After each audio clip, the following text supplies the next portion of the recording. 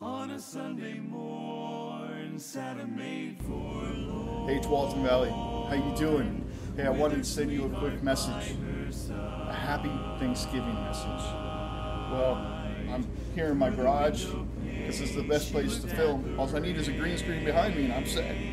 But hey, thought I'd send us a quick message to say thank you.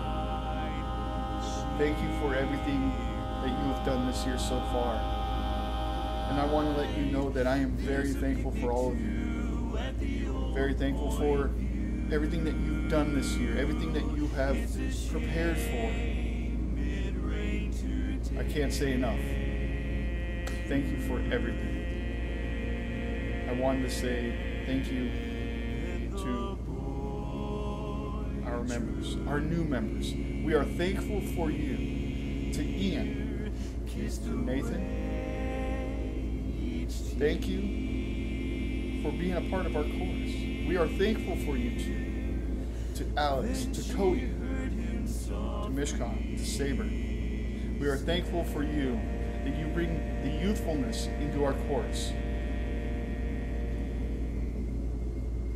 To Chuck, Ron, Dave, Ed, Dwayne, Butch, Jim, Joel, John, Gary, Scott, Richard. I am thankful for all of you. I'm thankful for our guests that are coming in. To Dwayne, to Sev, we are thankful for you too. And most of all, I am thankful that everybody able to be there on a Tuesday night to share the song that we sing.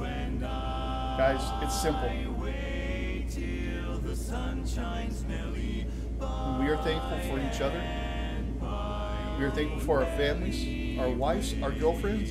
And most of all, we are thankful for everybody around the world that encompasses this barbershop harmony in their lives.